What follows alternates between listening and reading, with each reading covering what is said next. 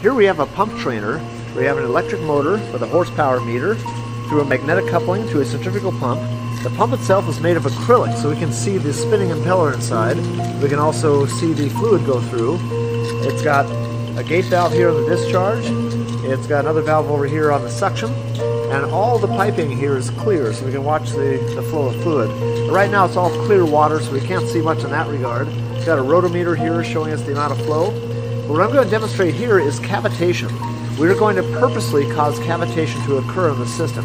We're going to do so by keeping the discharge valve wide open like it is and pinching off the suction valve.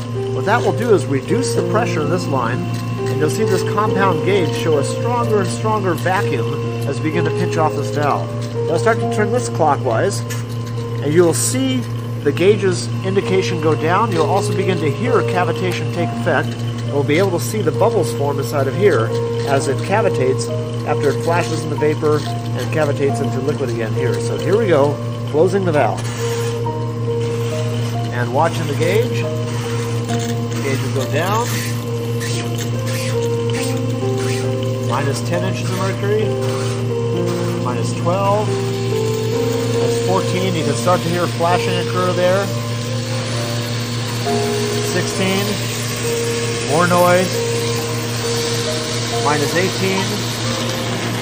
Minus 20. You start to hear that sound that sounds almost like rocks going through the pipe. There's no debris, there's no solid material through here. That solid sounding sound is really the collapsing of the vapor bubbles as they go back into liquid form. You can really hear it now. You can see it occur inside of here. It's a very pronounced action and noise. As the water goes through the valve, it reduces pressure going through the restricted valve.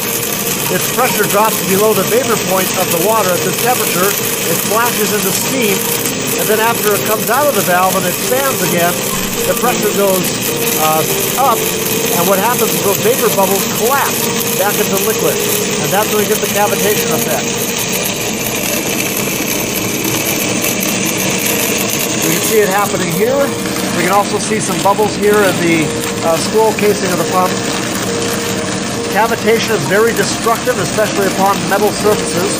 The acrylic surfaces here seem to handle it a little bit better, but with metal surfaces, there's no give, it's very destructive. The metal will become pitted by the high uh, pressure jets formed by the collapsing bubbles. So I just want to illustrate what cavitation looks like in an acrylic tube and what it sounds like.